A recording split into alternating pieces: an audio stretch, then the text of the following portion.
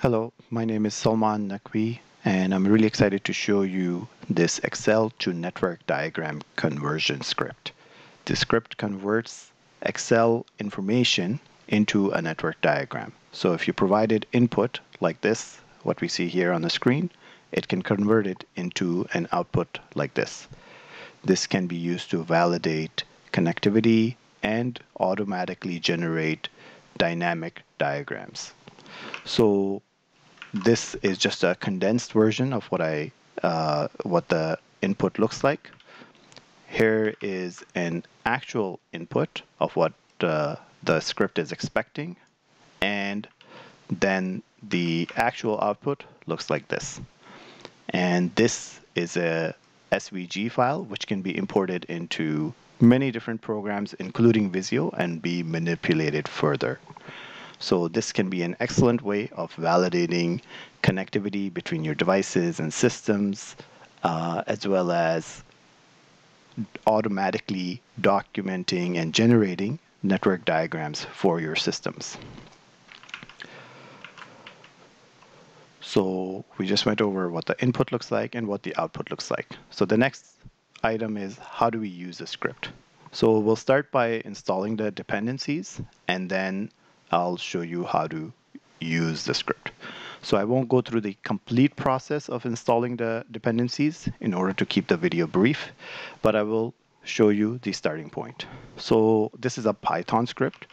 Uh, it's available at this location and I will this Python script uh, we created myself and a brilliant developer Roman Setsanetsia. We created this script uh, and it's available on GitHub uh, for your convenience. I'll put a link to this in the description of the video. So first of all, we'll go ahead and download the script.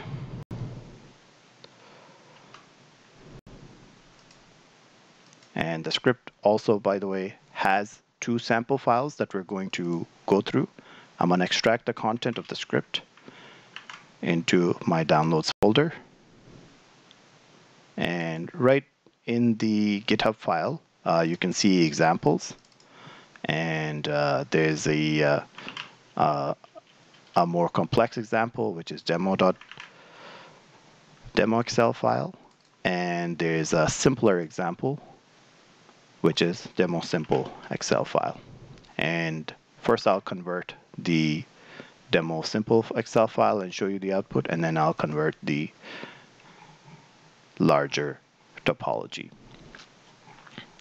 So to use the script, you need Python, and just you can just Google uh, Python download, and then it'll take you to this page, and you can install and download it. Next, you also need pip, uh, a, which will be used to install uh, the modules, Python modules required for the script. And so you can search pip install and you can just go to the instructions for your platform. This will work on Linux, Mac, or Windows. And then you can install pip. Next, you need to install the Python libraries that are required. And so if you go to the requirements text file here, uh, you can install all these uh, dependencies. And you just simply do pip install pandas, pip install jinja2, etc. And so you install all five of these dependencies. The last thing you need to do is install GraphViz. So again, just search GraphViz download, and it'll just take you to the latest page of wherever GraphViz is and install it for your platform. Again, all of the, the script will work on any of the three major platforms, including Windows, and I'm uh, running this demo on a Windows machine.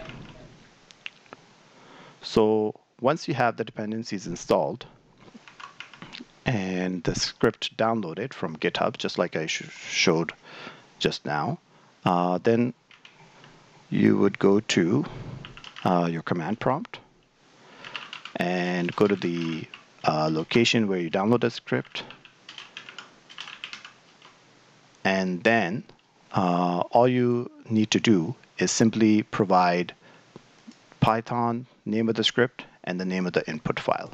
So Python, E to ND converter, and then we'll start with a simple example. And within a few seconds, the script generates this output, which you can see here. So there's a dot output, HTML output, and SVG file output. And so you can just ignore the dot output. It's the underlying graph is a text format that converts, uh, allows Graphviz to convert it into SVG. Uh, SVG format is really what we're interested in. This is the format that can be you know utilized and opened in almost every browser and every other program and can open be, can also be opened in Visio and uh, be further manipulated in Visio.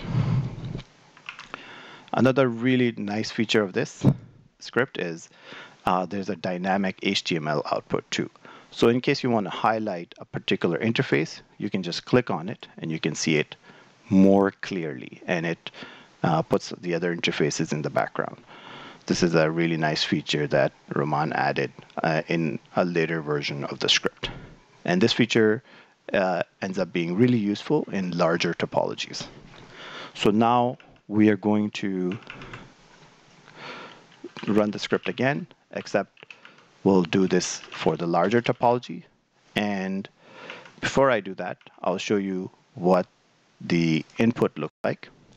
And again, if you find this script useful, you can use this, these two scripts, which are right in the GitHub repository as samples as a starting point uh, or a template for your connectivity. So this basically you know, shows that this device using this SFP is to be connected to this device using this SFP. And you can um, use that information and you update the, uh, the, the input file with your own information to create automatically generated diagrams. So uh, we'll go ahead and run the script. And within a couple of seconds, we can see the output that, that it generates. All right, so I can open the SVG file. Oh, I meant to open the other one right here. And so this is what the output looks like. And we can see this is a significantly larger topology. Uh, we can zoom in and out and import this in Visio and manipulate it further. Uh, and then remember there's the dynamic uh, diagram as well, which is really nice, uh, where you can click on specific interfaces and see the source and destination. And uh, again, you can view this information in your browser or import it in Visio and a number of other programs. SVG is a very old format that is compatible uh, with a lot of systems, a lot of applications, and can be imported and manipulated in a very large variety of applications. I hope this uh, you find this script useful in automating your network diagrams. Uh, if you are working in a situation like a data center where you have to put your connectivity information in an Excel file anyways uh, before you uh, so you so you so that you can get your devices connected to each other. Uh, this can be a really uh, efficient way to uh, to to make your uh, uh, diagrams automated. And so, you know, you basically have one source of truth, which would be your Excel file. And then whenever you need a diagram, you just generate the uh, diagram from the Excel file. So I, I hope you find this script useful and uh, thank you for watching.